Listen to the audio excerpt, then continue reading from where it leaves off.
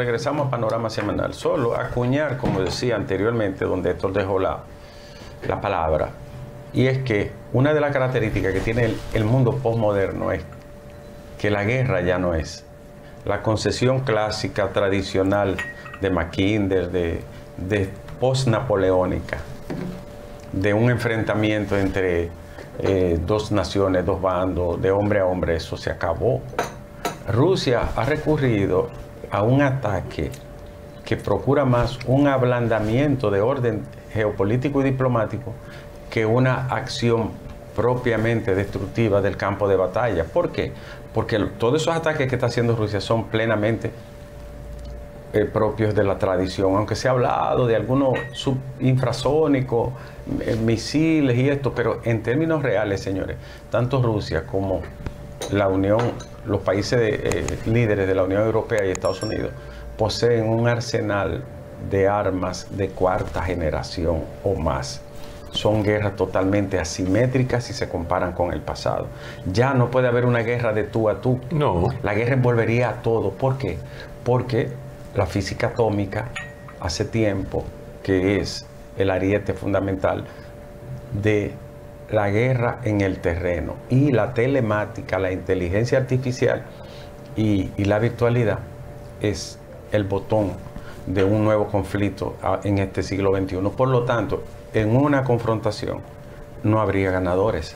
Por primera vez, el término clásico de quien ganó y perdió la guerra no aplicaría. ¿Por qué? Porque la capacidad destructiva es tan grande dentro de los actores involucrados y los sujetos globales que están imbuidos en este conflicto que no habría ganadores, perdería la humanidad en cualquier orden, perdería el mercado, perdería eh, la recuperación económica y perdería lo más valioso, perdería todo el mundo, la capacidad de vida humana eh, en, el nivel que la concebimos hoy. O sea que estamos hablando de una complejidad tan grande esto que es eh, muy distinto a la lectura que hacíamos en la tradición. Sí, sí. Ahí Bátimo tiene razón, es una destradicionalización completa. Pero uno de los misiles hipersónicos más fuertes, porque el tema Ucrania lo vamos a ir manejando en todos estos programas que vienen, pero el que sí disparó un misil hipersónico fue el encargado de negocios de la embajada norteamericana que no tiró un láser, no tiró un misil directo al Palacio Nacional. Por cierto, le convino, ¿no? Yo creo que, que le dio un espaldarazo al presidente.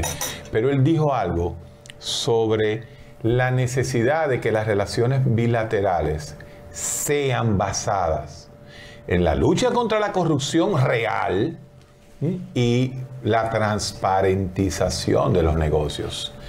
Domingo y Ricardo, háblenme de eso porque de eso yo no sé nada. Mira, ¿por qué habla de la transparentización de los negocios? Bueno, porque aquí se entiende que la opacidad es un derecho de, un de determinados grupos, que aunque la transparencia sea un discurso abarcante y compromisos políticos definidos, como lo ha definido, por ejemplo, Luis Abinader, cuando se llega a determinados grupos, no es aplicable. Por ejemplo, que una comisión de banqueros vaya a hablar por Donald Guerrero a donde la magistrada Miriam Germán. Ay, mi madre habla del criterio de transparencia que tienen esos banqueros. ¿Por qué? Porque Donald Guerrero se llevó de encuentro la ley para garantizar unos pagos a alguien que está acusado de, un, de, ser el jefe de un entramado de corrupción de dimensiones eh, eh, cósmicas entonces, sí. Cósmica. Sí, de dimensiones cósmicas, porque eso de, del pulpo, eso es cósmico. Eso 21 mil millones, hablar de 21 mil millones. pero Ricardo y yo, cuando escuchamos eso, estábamos, íbamos a caer de la silla. Porque yo dije. ¿Tú te acuerdas la, piña a 6 pesos de, por lo que cayó un gobierno entero? No, lo que dice. Lo que dice la piña de Jorge Blanco, cayó un gobierno entero por 4 millones de pesos. Ahora se está hablando de 21 mil millones. Domingo está hablando de un caso que una persona le suplía a 23 instituciones. Mire, yo tengo que pedirle... Eso ni un chino hace. Mire, yo le tengo Una que- persona no, el hermano del presidente. Oye, yo le tengo que Entonces pedir, eso no es una persona, eso es una estructura. le tengo que pedir perdón a No Jenny, te haga, no te haga el, eh, eh, a el Jenny Berenice. Oye, le tengo que pedir perdón a Jenny Berenice y a Wilson Camacho. Oigan, jóvenes, ¿ustedes recuerdan que yo decía que ustedes estaban abultando los, Sí, los expedientes para hacerlo más hipersónico? son peores. Sí, sí. Oye, miren, de verdad yo le pido perdón porque yo no me lo imaginaba en esa Pero dimensión. nadie. Yo sabía que había corrupción generalizada, pero no es en esa dimensión. Ahora, una Porque tú eres en persona... el fondo un inocente. ¿Eh? Tú eres un inocente. No, No lo tienes que- malicia. Lo que yo no soy mala fe. Ahí que está el problema. O sea, no soy mala No, fe. no, no, yo una no cosa- tengo... o sea, la intención lo te dice a dónde tú vas. Oye, yo Una- no tengo... tú no yo- tienes intención de que Domingo no Señores, tiene- pero la palabra Jenny fue. Es que hay que investigar mucho cuando hay mucho robo. No, pero mira- Eh, eh, ya lo dijo, señor. Wilson, eh, Wilson Camacho se están tirando un, así en, ese, en esa expresión, una vaina encima en favor de la sociedad, que no se merece más que el respeto de una persona como yo, que Así ha luchado es. por esos valores. Ahora, yo tengo cuestionamiento, por ejemplo, que me lo, eh, me lo analicen mucho con el espectáculo y eso. Por ello, porque no quiero que se, se desacrediten un proce- un- una actividad noble que ellos están haciendo. Acuérdate entrega. que cuando el espectáculo es menos ficción que la realidad, Sí. es un lío. Está bien, Pero pero, termina- yo, termina yo viéndolo a ustedes y viendo a, a, a- Jenny a Camacho, me da terror. Pero lo que quiero decir es lo siguiente. Donald Guerrero, todo el mundo sabe que está metido hasta aquí. No en ese expediente. Miren, Donald Guerrero tenía en la OISOE un tipo manejándole un paquete de negocios que hacían empresas de él a través de la OISOE. Cuidado, ¿eh? Oye, ¿y tú sabes cómo le llaman a ese tipo? Es como que le llaman. Ten cuidado. No, no, yo no tengo que tener cuidado para nada, viejo. Ah, ok. Oye, yo enfrento hasta a los narcotraficantes. Yo soy un tipo que he enfrentado dos jefes de la policía en términos personal. Dos jefes de policía. Sí, todavía estoy vivo. El cáncer me dieron tres meses de vida y mira, todavía estoy vivo. Pero por eso no debo tener miedo. Ahora, ¿qué es lo que pasa con Donald Guerrero? Bueno, que lo apoya un sector financiero y que todavía no hay forma de construir ese expediente, porque ustedes saben qué están haciendo, amenazando al Ministerio Público, amenazando al Ministerio Público con, con el Consejo del Ministerio Público para llevar a, a Jenny y a Wilson como acusados allá. En eso están, señores, Wow. como acusados a ellos dos en el Consejo del Ministerio Público. ¿Ustedes saben por qué? Pero esta sociedad no se tragaría eso. No, yo espero que no se lo traigan. ¿Ustedes saben por qué? Están en eso. Porque el Consejo del Ministerio Público está formado por gente del anterior gobierno. Y es para, para, para proteger, para tratar de evitar Diablo.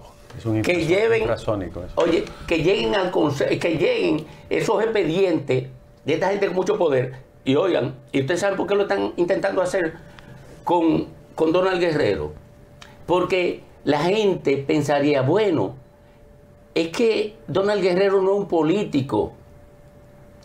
Donald Guerrero viene del área empresarial. Entonces, es probable que sea verdad que ellos estén violando la ley para encauzar a Donald Guerrero. Por tanto, es merecible que se lleven al Consejo del Ministerio Público. Con eso están amenazando, Tú señores. dices que el ministerio, Oye, el que- ministerio Oye, público, el consejo oye. es del gobierno Mira, anterior. el- mira, el- mira, el del eh, PLD. eh, Andar, lo- diablo. Lo que tú has soltado es un No, no, un no, misil, no, pero un misil. el hipersónico que, que, que ha tirado Rusia eh, es un yo niño de veo- teta. Yo veo a Donald Guerrero como una especie de Álvarez Renta.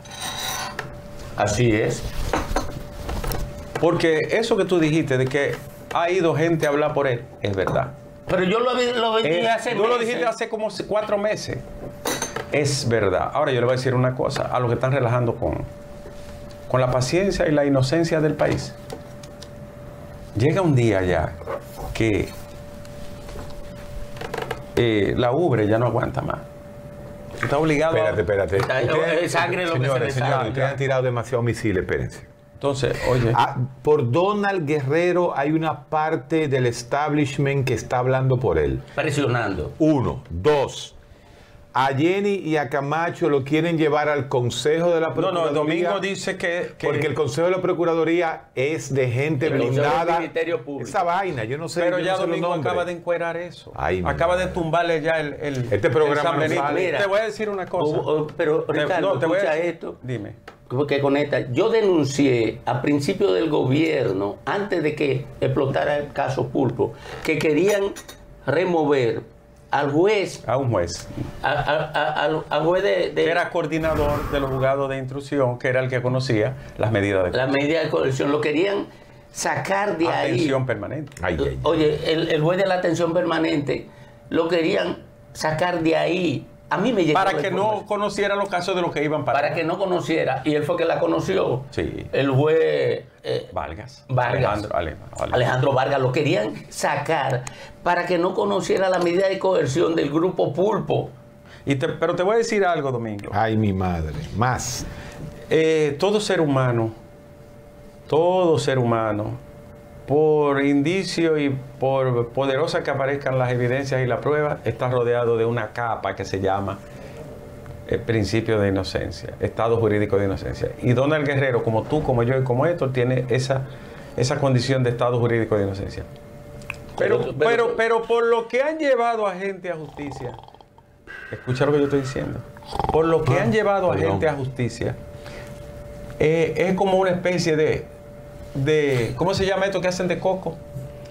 De, de, de jícara. No, De- el, el- el dulcito que hacen de coco. Lo mismo eh, con conete. No, el que hacen que es, medio moreno, de coco. Ah, Eh, jalao. jalao, jalao. Lo que, han lo que han llevado a justicia, en algunos casos, comparado con lo que le atribuyen a Donald Guerrero, es un jalao. Es un dulce de coco. Pero Ricardo, Entonces, yo no sé cómo le van a salir a este país que ese señor por lo menos no comparezca ante un juez y demuestre su inocencia, porque en esta materia, Ah, en esta materia de corrupción, la constitución dominicana dice que es usted el que tiene que demostrar lo que tuvo y cómo lo tuvo. No sé si a alguna gente le ha olvidado eso. Entonces, no hay nada contra él, yo ni conozco a ese hombre. no, yo voy a hacer una Pero, revelación. pero yo te voy a decir una cosa. El Ministerio Público y la Procuraduría General de la República no le puede decir a este país que Donald Guerrero se va a quedar echándose fresco en su casa. Cuando hay casos ahí que tienen menos relevancia que todo lo que le atribuyen, mira que yo digo, le atribuyen a ese señor. Mira, Ricardo, Freddy Hidalgos. Freddy Él es ministro de Salud. él es ministro de Salud, que está en el caso Pulpo. No se enriqueció, no han podido demostrar enriquecimiento ilícito. Lo sacó el Ministerio Público. No No está acusado de enriquecimiento ilícito. No, ni, no, no. ni- ni de coalición de ni funcionarios. de coalición de funcionarios, no recibió soborno, no se vinculó a una compra sobrevaluada. Oye, no hay un elemento que justifique su permanencia ahí. Ahora bien, ahora bien. En el caso de Donald Guerrero, pagó a ese grupo ay. Fuera de la ley 21 mil millones. 21 mil millones de pesos. Pero tú estás oyendo eso. Oye, lo Es que pagó. no da. De- de- yo lo voy a escribir, a ver cómo que se ve. Oye, violando la ley de presupuesto. Sin pasar por, por, 21,000. por Contraloría. violando la ley de, de fiscalización de Contraloría, violando lo que tipifica la coalición de funcionarios en contra de él y está fuera. Y está O- fuera. o por lo menos hasta ahora. Bueno, está fuera. Por lo menos. Hasta ahora está fuera. Está fuera. Ahora, yo quiero, yo quiero para que te detenga un segundo. ahí. ¿Qué intención, voluntad, motivo, necesidad tendríamos nosotros, eh, como persona que hace opinión, de que a ese señor le perjudiquen su vida? Ninguno. Ninguno, ni siquiera ariente, ni pariente, ni conocido, ni Yo no le he sultaneo, dado la mano, ni perenceo. Yo no, yo no le he visto nunca a ese señor. ¿A quién? ¿A Donald? Eh, Físicamente no. O sea, ¿por qué, ¿por qué nosotros estamos diciendo esto de un personaje que se menciona y que ha sido interrogado más de cuatro veces en varios casos que están conectados uno con otro? ¿Qué, qué, qué qué ganancia obtenemos nosotros? Ninguna, señores. Esto no es mala intención, ni maldad, ni mala leche contra ese señor. Es que las conductas que le atribuyen, y digo, fíjate, atribuyen a, a ese señor y a otros, son 10 veces más relevantes y más dañosas. Que un viaje de lo que está ahí. Oh, pero eso es lo que tú acabas de decir. Oye. Eso es lo que estamos diciendo. Eso, Tú, eso- tú acabas de tirar un misil muy grande a, a Donald Guerrero. no, pero no, a Donald no, porque No, no, no. es personalmente a él. Es que, Héctor, se pagaron 21 mil millones de pesos. Miren el número, señores, miren el número. Yo creo que le hagan un close a ese número. Oye, Yo- Así se escriben 21 mil millones de pesos. Ahora, yo no sé cómo. Es más, yo te voy a decir algo. El Ministerio Público puede resolver todos los otros casos y si ese se queda en una nebulosa, es un cuestionamiento directo. Pero ya fracasó. Habría fracasado. Porque mira que lo que pasa, eh, Héctor Guerrero, es que probablemente, es que este país no se merece una vaina probablemente el problema más grande de esta nación es la impunidad que se le ha garantizado a las élites sí, sí. políticas, empresariales. Oye. Tú sabes que lo malo del cáncer es la metástasis. claro, aquí hay un hombre que, Diablo, que- que le debía 400 millones de pesos. Ahí está, y no me pregunten que- y no me digan que lo identifique. 400 millones de pesos a aduana. Un expresidente llamó, y eso me lo reveló a No, mí. sigue hablando, sigue hablando, para que vean el número. El director de aduana me lo, me lo, me lo reveló.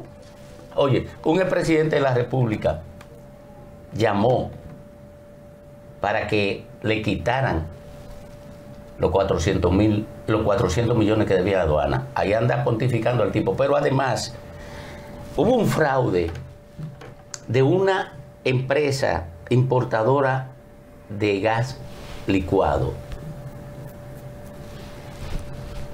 por más de mil millones de pesos.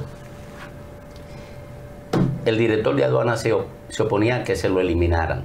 Llamó un expresidente de la República, se lo eliminaron y destituyeron Wow, al director de aduana. wow, wow. Y lo destituyeron. Entonces, Este es un país que. Oye, yo- Una gangrena, ¿no? Oye, La yo- corrupción es una gangrena. No, claro, entonces yo eh, debo eh, 500 pesos de impuestos y me persiguen. Mira, Oye, mira, Domingo. Entonces, yo te voy a decir palabras, Yo te voy a decir algo. hay que Un amigo de nosotros. Ya no vamos. Los grandes camajanes no han caído. No, no, no, no.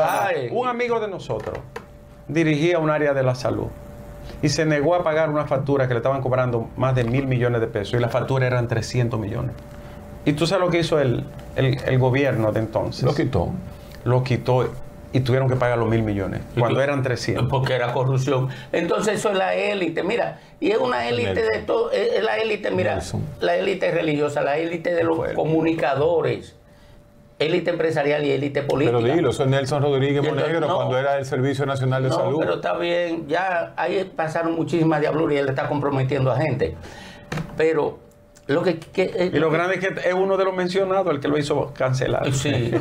Entonces, eh, eh, ese es el tema, señores, porque la institucionalidad debe operar como un elemento normalizador Déjalo ahí en normal. de la sociedad. De la sociedad. Déjalo ahí. Nos vamos a la pausa y al final regresamos Con un temita más light, por favor. ADP, falsificación de títulos, Sí. eh, los niños que no saben leer y Sí, por favor. escribir, el ADP, eh, y cosas increíbles que no pasan en ninguna parte del planeta. Regresamos.